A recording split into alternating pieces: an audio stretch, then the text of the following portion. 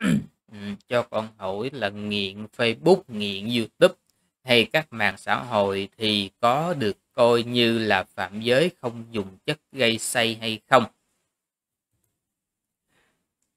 Nếu như chúng ta xét theo các chi phần á thì không có phạm giới. Nó cũng y như là mấy người nghiện cờ bạc thôi. Thì bản thân cái chuyện mà nghiện cờ bạc á nó cũng đâu có phạm giới nhưng mà nếu như chúng ta à, đưa nó vào à, trong cái nhóm những tính chất gây nghiện như là cờ bạc nè như là chơi bời đàn điếm nè nếu như chúng ta gom nó vào chung á thì đó sẽ là một cái à, nguyên nhân làm cho chúng ta tổn hao tài sản tức là đồ đạc trong gia đình đội nón mà ra đi tại vì sao? Thứ nhất để phục vụ cho cái nhu cầu đó đó nó tốn tiền. Sư gom luôn cái chuyện mà nghiện game đi. Nhất là những cái game online bây giờ có khi là phải nạp tiền để chơi thì nó sẽ phải tốn tiền để phục vụ cho nhu cầu của mình. Hoặc là những cái bạn trẻ hoặc những những đứa con nít đó nó coi những cái streamer đó rồi nó có khi nó donate uh, cho những cái streamer đó thì cái kiểu đó thì nó cũng tốn tiền. Đấy. Thứ nhất là để phục vụ cho cái ờ, thú vui đó thì nó tốn tiền.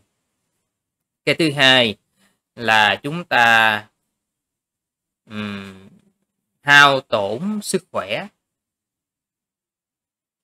Tại vì cái kiểu ờ, cũng nó cũng giống như là bài bạc hoặc là chơi bời đàn điếm thôi.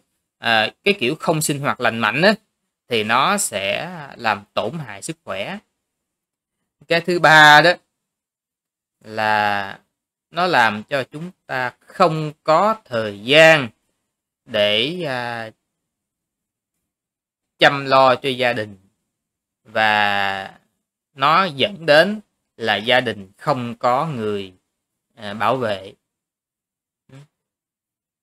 Không tin quý vị có dám để cho mấy cái người mà nghiện ừ, mạng xã hội hoặc là nghiện game các cái thể loại đó à, đi chăm người bệnh dám không? Ờ, hoặc là giao cho họ là trưa nay nấu cơm nghe dám không? Đơn giản vậy thôi.